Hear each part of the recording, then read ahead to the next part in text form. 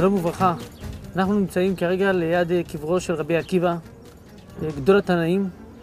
משה רבנו אמר עליו, הלוואי והייתי זוכה שהתורה תינתן על ידו. האדם הכי גדול, שהיה רבם של רבי שמעון בר יוחאי, רבי מאיר בעל הנס, וכל גדולי האומה הוא העביר את התורה, התורה שבעל פה לעם ישראל, נפטר לפני כאלפיים שנה. נפטר בגיל 120 שנה.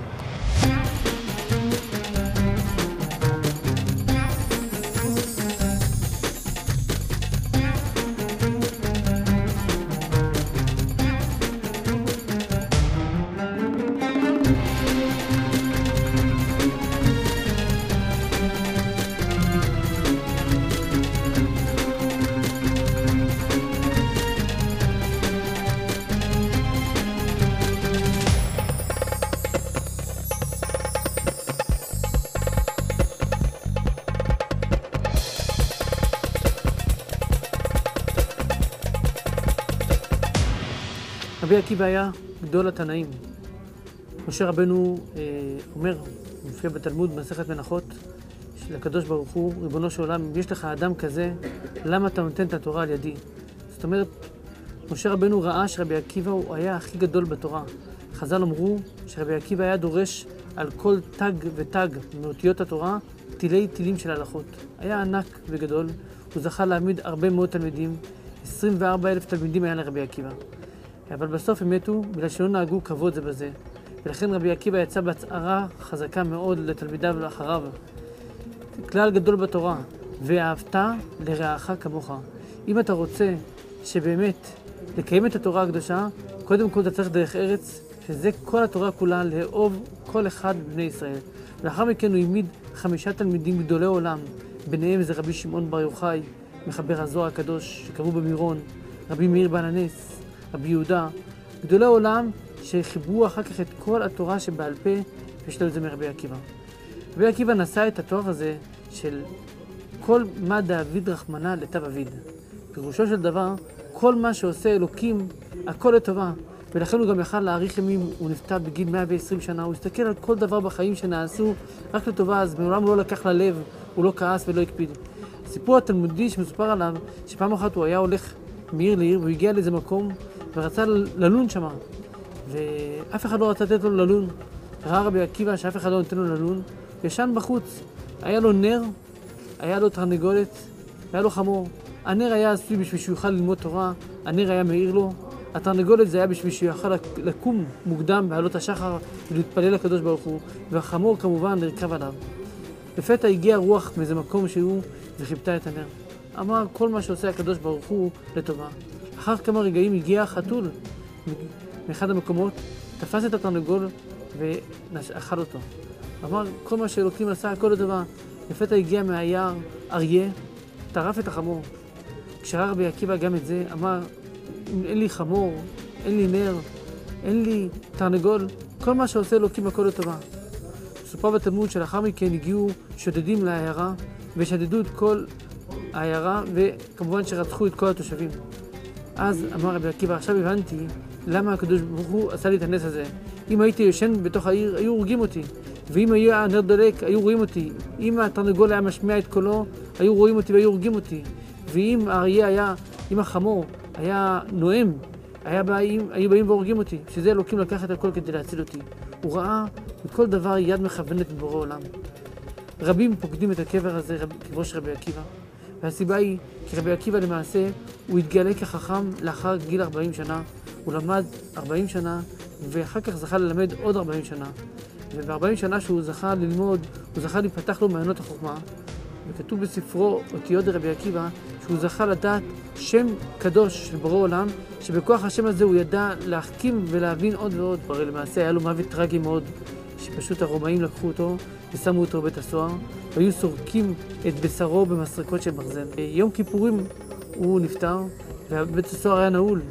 כשהגיע השמש שלו, יהושע הגרסי, הוא ראה את אליהו הנביא נמצא בתוך, בית, בתוך הבית הסוהר. אליהו הנביא נכנס ומוציא את המיטה של הצדיק רבי עקיבא ולוקח אותו על גופו. שואל אותו יהושע הגרסי, אליהו הנביא, אתה הרי נכד של אהרון הכהן. פנחס בן אלעזר בן אהרון הכהן, אתה נכד של אהרון הכהן, הרי אליהו הנביא זה פנחס. איך אתה לוקח את המת, הרי זה, אתה נטמע למת. אמר לו, קברי צדיקים לא מטמאים. ולכן אני לוקח את, את הצדיק הזה ואני סוחב אותו על כתפיי ואני אקח אותו לקבר והוא לקח אותו לכאן למערה הזאת. נפתחה המערה והוא קבר אותו ונר דלוק מראשו כל הזמן. המקום של קברו של רבי עקיבא מסוגל כסגולה כשבאים לכאן אנשים להתפלל פה א', בשביל להתפלל, לזכות לחוכמה ותבונה נוספת, כי רבי עקיבא הוא החכים מאוד והגיע לחוכמה הכי גדולה מכל גדולי התנאים. גם המקום הזה מסוגל לאמונה וביטחון בהשם, ברגע שאדם מרגיש חלישות הדעת, יש פה את המקום של האמונה, גם כסגולה לאריכות ימים. אנשים שמרגישים שקשה להם ונראה להם שהתחולת חיים שלהם לא כל כך ארוכה, רבי עקיבא זכה לאריכות ימים, נפטר בגיל 120 שנה, בוודאי. חוץ ממה שרבי עקיבא הוא, כדוגמת משה רבנו, עליו השלום, הוא למעשה המנהיג שהנהיג והנחיל לעם ישראל את כל התורה שבעל פה. משה רבנו הנחיל את התורה שבכתב. אז בוודאי שהמקום הזה מסוגל כמו משה רבנו לקבל את כל ההשפעות אשר משה רבנו נתן לעם ישראל, את המן במדבר, את האוכל, את הפרנסה, אז בוודאי שכל מי שצריך ישועה לפרנסה, לרפואה, לחיים מאושרים, מגיע לקבר הזה ומבקש, ורואים ניסים ונפלאות. על ציונו של הקבר של רבי עקיבא מצוין המדרש המפורסם על רבי עקיבא שפוגש את פפוס בן יהודה. פפוס בן יהודה אומר לו, אנחנו עכשיו חיים אחרי תקופת חורבן בית המקדש. הרומאים שולטים בארץ ישראל, והם לא מסכימים שילמדו תורה עם ישראל. ומי שלומד תורה, הם, בסופו של דבר הם הורגים אותו. אמר רבי עקיבא לפפוס בן יהודה, וכי אתה חושב שאני יכול לא לעסוק בתורה? שואל לך משל, למה הדבר דומה? והמדרש מספר למשל לשועל שהיה הולך על גב הנהר וראה את הדגים בתוך הנהר. פנה אל הדגים, אמר להם, רצוני שתדורו איתי ביחד. אמרו לו, אנחנו במקומותינו אנחנו מפחדים, במקומנו אנחנו מפחדים שיבואו אנשים ויצודו אותנו. אם נצא החוצה אתה חושב שנחיה? הרי ודאי שלא נחיה. אותו דבר גם אני אומר לך, אמר רבי עקיבא לפפוס בן יהודה. אם בלי לימוד תורה, אם לימוד תורה אנחנו מפחדים, בלי לימוד תורה על אחת כמה וכמה, התורה היא כי אם חיינו ואורך ימינו. בזכות התורה, אדם יכול לחיות. לימים נתפס רבי עקיבא וגם פפוס בן יהודה. ורבי עקיבא, כשהיה הולך, שאל את פפוס בן יהודה, איפה אתה הולך? אמר לו, אשריך שאתה נתפסת על דברי תורה. אוי לי שנתפסתי על דברים בטלים. בסופו של דבר, שאת שניהם הרגו, את רבי עקיבא סרקו אותו מסרקות של ברזל, והוא היה מתפלל להשם באותה שעה שסורקים אותו, ואמר, שמע ישראל, אדוני אלוהינו, אדוני אחד. אמרו לו תלמידיו, עד כאן? עד כדי כך אתה מוכן עוד להאמין ולהתפלל להשם באותה שעה, באותה רגעים? אמר להם, כל ימיי חיכיתי לדבר הזה, שכתוב בתורה, בכל לבבך ובכל נפשך ובכל מאודיך. אדם צריך לאהוב את הקדוש ברוך הוא. בכל נפשך, אפילו נוטלים את נפשך.